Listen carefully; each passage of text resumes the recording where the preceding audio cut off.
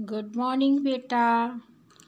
आज बेटा मैं आपको क्या करवाऊँगी? तीन अक्षरों का ही जोड़। तीन अक्षरों वाले शब्द ही कर रहे हैं हम। तो देखेंगे सबसे पहले नंबर वन के ऊपर है प। तो बेटा सभी बच्चे ऐसे रीड किया करेंगे, ठीक है ना? प, जमा ल, जमा म। तो क्या बन गया? ये जमा के चिन्ह जो वो नहीं आपने लिखने होते हैं इस साइड को और आपने इकट्ठा करके लिखना है। यहाँ पे बराबर का चिन्ह लगाना है। इसको बराबर बोलते हैं। ठीक है? यही अक्षर जो हैं वो आपने इधर लिखने होते हैं। ठीक है?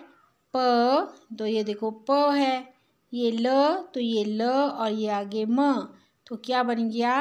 प ल म पलम। ऐसे पढ़ना है। ठीक है, आगे है न। जमा म, जमा क। ठीक है, आपने जब लिखना होता है तब तो बराबर का चिन्ह लगाया करो, ऐसे बोलना नहीं, आपने ऐसे बोलना है न, जमा म, जमा क। फिर बोलेंगे आप न, म, क, नमक। यदि आप इस साइड देखेंगे तो ये बना नमक सेम है ना?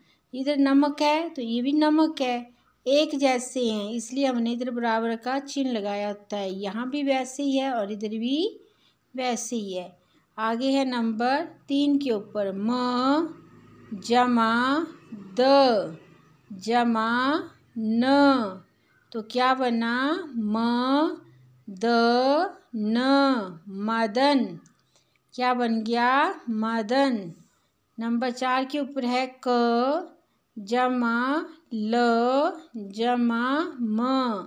तो क्या बना? क ल म कलम।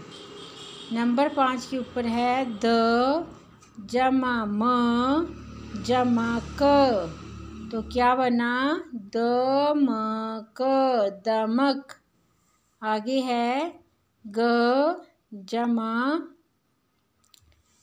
म। ये म मछली है, इस बात का ध्यान देखना। ये म मछली है, म, ग, म जमा न तो ग, म, न तो क्या बन गया? गमन। आगे है, ज, जमा, ग।